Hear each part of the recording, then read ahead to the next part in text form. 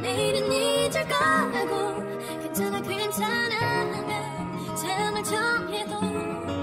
난 눈물만 변함없이 나만 생각해줄 거라고